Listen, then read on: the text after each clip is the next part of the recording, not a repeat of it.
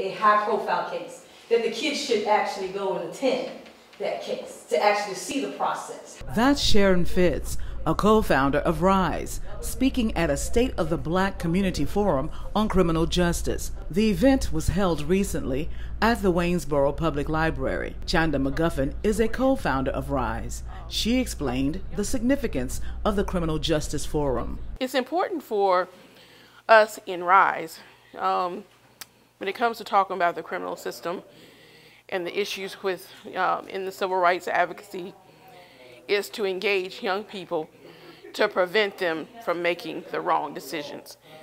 So we want people that have experienced it to share with them and to give back as they continue to readjust and get back into the community. I once was locked up, so um, I'm a felon. Um, but right now, um, I have done a lot of things to correct that. Now the men are working to prevent others from entering the penal system.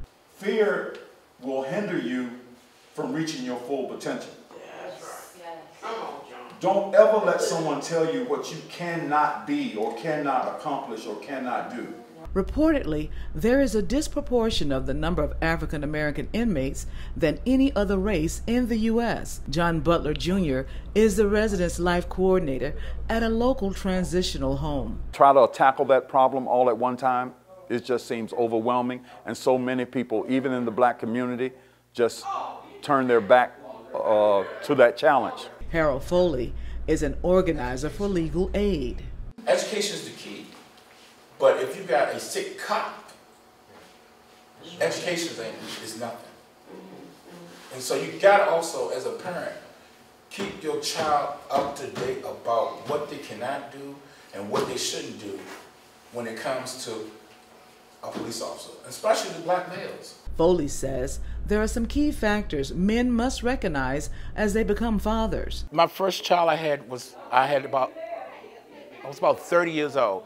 Um, and, you know, he changed my life because I had someone that I had to be responsible for. When you have responsibility that's not you, that means you look at the world different. All the prisons I go to, the majority of people in prison are black. Shaquille Ali is a Project Give Back Board of Directors member. He is also the founder and CEO of the TRAP organization. End up getting incarcerated at the age of 27. Um, spent over 20 years in Virginia's penal system. Um, I've been to several prisons. Um, I learned about the um, criminal justice system. Ali says they work to instruct young people on various traps which could lead to prison, such as drugs, dropping out of school, and teen pregnancy. In 94, uh, I had a check kiting scheme here in Virginia. And um, I got arrested um, I went to court. Uh, they found me guilty of forgery and uttering.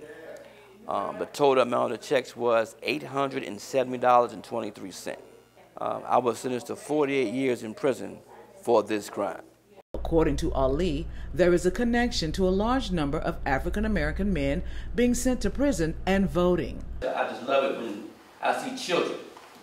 Their parents bring their children out to listen and to hear is because we've already been in prison, right?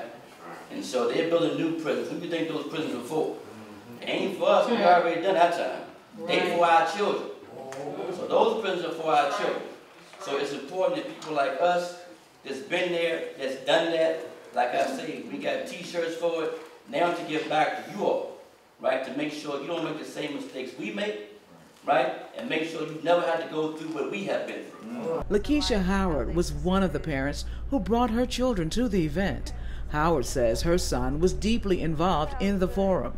It was real good. I was shocked that my son was paying attention the whole time. Howard agrees with the panel's suggestions for parents. Parents need to be more involved in the school activities and activities like this where other people are trying to bring us together, but nobody's really coming in to help out with the kids. In Waynesboro, Elaine Rackley for Breaking Through News.